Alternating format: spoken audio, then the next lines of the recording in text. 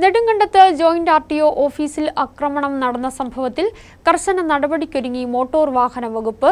ഉന്നതതല ഉദ്യോഗസ്ഥർക്കും ജില്ലാ കളക്ടർക്കും റിപ്പോർട്ട് സമർപ്പിക്കും.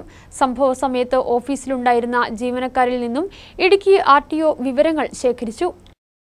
കഴിഞ്ഞ പതിനേഴിനാണ് നെടുങ്കണ്ടത്തെ രണ്ട് ഡ്രൈവിംഗ് സ്കൂൾ ഉടമകൾ ജോയിന്റ് ആർ ടി ഒ ഓഫീസിലെത്തി ബഹളം വയ്ക്കുകയും കൌണ്ടറുകൾക്ക് കേടുപാടുകൾ വരുത്തുകയും ചെയ്തത്. അന്നേ ദിവസം നടന്ന വാഹന ഫിറ്റ്നസ് ടെസ്റ്റിൽ ഒരു വാഹനത്തിൽ അനധികൃതമായി ചില ഭാഗങ്ങൾ ഘടിപ്പിച്ചിരുന്നു. ഇത് നീക്കം ചെയ്യാൻ ആവശ്യപ്പെടുകയായിരുന്നു. എന്നാൽ പിന്നീട് ഈ സംഭവവുമായി ബന്ധമില്ലാത്ത ഡ്രൈവിംഗ് സ്കൂൾ ഉടമകൾ ഓഫീസിലെത്തി ഈ വിഷയം ചോദിച്ച് ബഹളം വയ്ക്കുകയായിരുന്നു.